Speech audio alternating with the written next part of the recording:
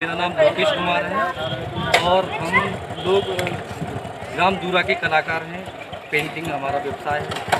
हम लोगों को पेंटिंग बना के जागरूक कर रहे हैं कि वो लॉकडाउन का पालन करें और अपने घर में ही रहें। इस कार्य में आपके साथ और कितने साथी हैं?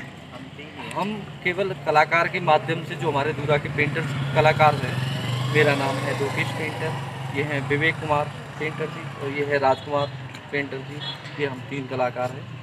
और इसके लिए हम लोगों को जागरूक कर रहे हैं। हम संदेश देना चाह रहे हैं लोगों को जागरूक करने के लिए और बताना चाह रहे हैं कि अपने घरों में ही रहें और सुरक्षित रहें और अपनी पेंटिंग के ज़रिए ये भी बताना चाह रहे हैं जो सरकार ने जो निर्देश दिए हैं घरों में रहने के लिए और आज सुना है हमने यह तीस अप्रैल तक लॉकडाउन बढ़ा दिया गया है तो उसके अंतर्गत हम ये पेंटिंग बनाकर लोगों को जागरूक करें कि अपने ही घरों में रहें और सुरक्षित रहें। यही हमारा पेंटिंग करने का उद्देश्य है।